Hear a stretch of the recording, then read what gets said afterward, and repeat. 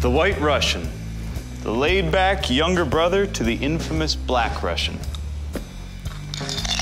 First appeared in the swinging 60s before gaining worldwide popularity in the disco era of the 70s until finally reaching cult status.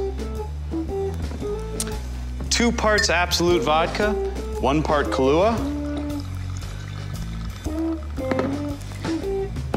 and float some heavy cream on top. No matter where you are, you can't go wrong with this classic. Feel free to use fat-free milk or skim milk, or even almond milk or soy milk. Finally, throw a straw in there, give it a nice, slow swirl, and mix it into the perfect storm.